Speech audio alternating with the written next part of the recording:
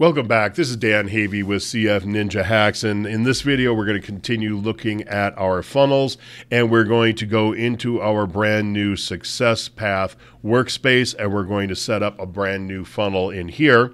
So let's come over here to funnels after we clicked into our sites and funnels. And then we're going to create a new funnel and we can create one using a recipe. You saw that in the last video. Or we can just click here and say create a funnel. So we're going to come in here. We are going to call this our success path. Oops. Success path funnel is what we will call that. And we will leave that on there. In fact, what we can do is let's call this success path funnel dash loading so we can do the same trick that we did in the last video and then clean this up and have the path only be success path funnel when we are done.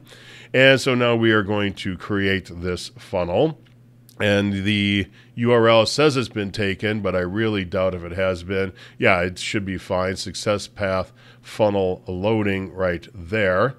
And now we can put in a add your first step by clicking here. So we will just click there and we will say we want to do a page because I don't think you want to do a split path ever as coming into the funnel. Maybe, I guess you could. Um, but well, I'm not I'm not sure about the split path there. Uh, but so here we're going to do this. Let's just say we want to have just a simple opt-in funnel. But again, you can have any one of these page types or template types more accurately over here. So let's just say we want to choose this one right here. And then we're going to say, um, what did we call this here? We had this success path funnel is our very first page. And I want that to be reflected down here, but I'm going to leave that for now.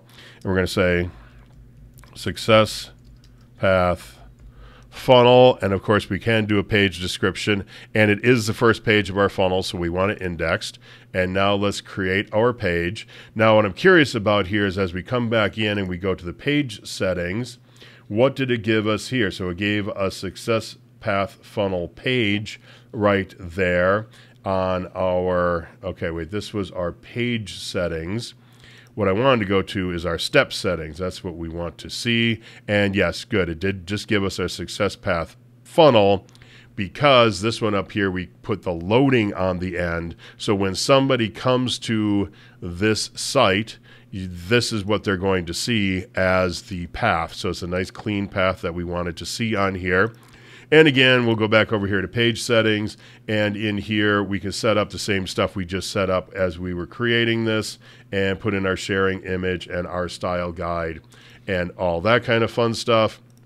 And again, as you saw in the last video, we can add a product in here if we want, but I don't have any products. So if I wanted to put in a product, I could click on, okay, give me a new product, and then we can go through the whole product creation here. But again, that is for a different video. But the cool part here is that I don't have to leave this page in order to go out and create another product. It's all done right here. And that's one of the couple of the cool things that they've really done with uh, 2.0 is a lot of the stuff, whether you're working on your, your page style or products or even, even the thing with the sidebar over here is you pretty much stay working right here in the editor the whole time. You don't have to keep bouncing out to all different places.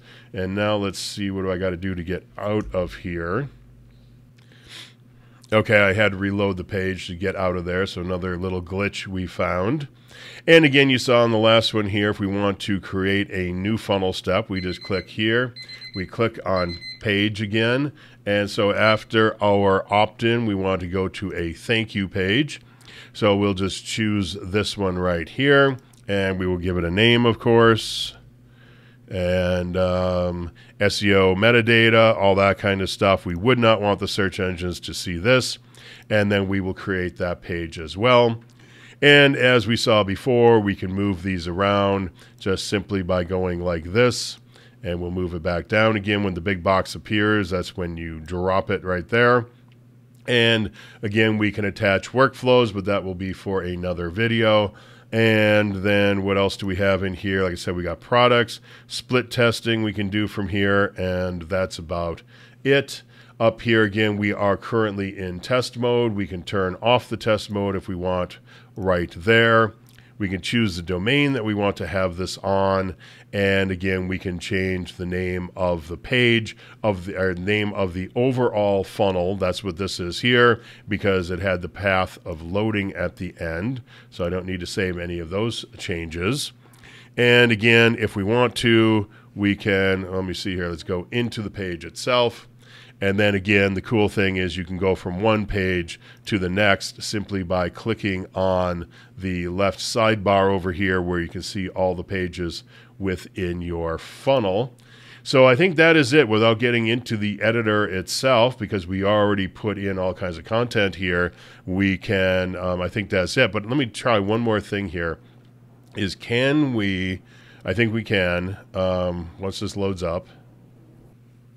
Okay, so the question is can we put in a completely blank page? And yes, we can. So we don't have to use any of these templates at all. We can just say we want to have a new page, and we're just going to call this one here new page just for simplicity's sake. We don't want it indexed we of course would put in well actually if you don't want it indexed you don't really need to put in the description you would not put in an image but you would still want to put in the title at the top. So let me just show you that. So in our page settings we would always want to put in our page title because we'll just put that there because that's always what's going to show up here in the tab. And you always want something in that tab to let people know where they are at. And now let's go into this page because this page should be completely blank. Of course, you can set everything up as always, but now we come into our page. Now our page is completely blank. And now we can just start building by putting in any elements that we want right in here. And as you see, it is so simple to just click, click, click, and you just start building your page as fast as possible. But again, if you have no experience building the page, go into the supplemental training and we'll be walking through a lot of things on how to build it in there. But also, don't be afraid to just jump in here and start building because you really can't mess anything up if you put in a bunch of garbage. You just come over here, you click delete, and all the garbage is gone. So that is it for this video. If you have any questions, just let me know.